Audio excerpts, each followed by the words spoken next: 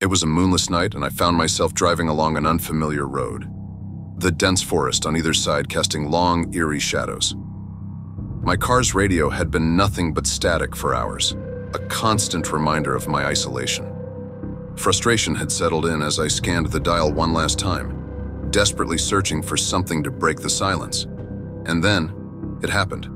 A faint, haunting melody that sent shivers down my spine. The radio had locked onto a station, but this was no ordinary station, it was an abandoned one. Broadcasting eerie, ethereal music that seemed to seep into my very soul. The haunting notes seemed to twist and warp time itself, lulling me into a trance. The forest around me grew darker and denser as I approached the source of the signal. An old building emerged from the shadows, its neon sign flickering like a ghostly sentinel, casting an otherworldly glow on the rain-soaked pavement. I couldn't resist the pull, so I parked the car and entered the decaying structure. Inside, the air was heavy with foreboding, and the room was filled with a haunting melody emanating from a dusty turntable that spun an old, scratched record. The place was abandoned, yet the music played on and there was no one in sight. As I listened to the ethereal tunes, I felt time slip away, the world around me losing its grip on reality. It was as if I had entered another dimension, one where the past and present were woven together in an intricate dance. Ghostly apparitions began to materialize, their spectral forms swaying to the haunting music.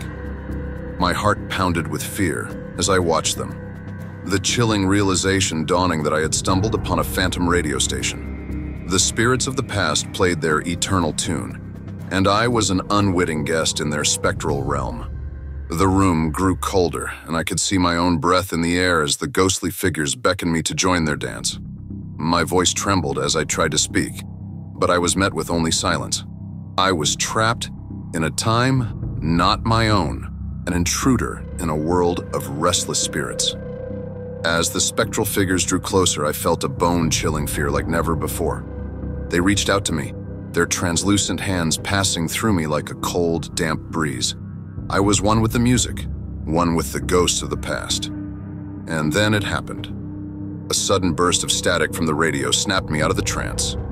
The room around me dissolved into darkness, and the spectral figures vanished into the ether. I was alone, back in my own time, the abandoned radio station nothing but a distant memory. The realization hit me like a tidal wave. I had narrowly escaped a fate worse than death, an eternity trapped in a ghostly dance of the past.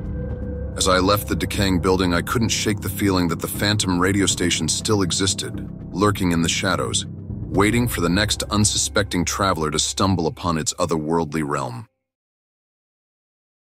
Please consider subscribing to the Haunting Crypt Chronicles YouTube channel for a continuous stream of unsettling stories that will keep you on the edge of your seat. Subscribing means you'll never miss an episode, we release new stories regularly, each designed to immerse you in a world of fear, suspense, and the supernatural. Subscribing ensures you're the first to experience our latest tales. Don't let the fear stop here. Hit that subscribe button now and join the Haunting Crypt Chronicles community. We promise you won't be disappointed. Your next nightmare is just a click away. Stay haunted, and thank you for your support.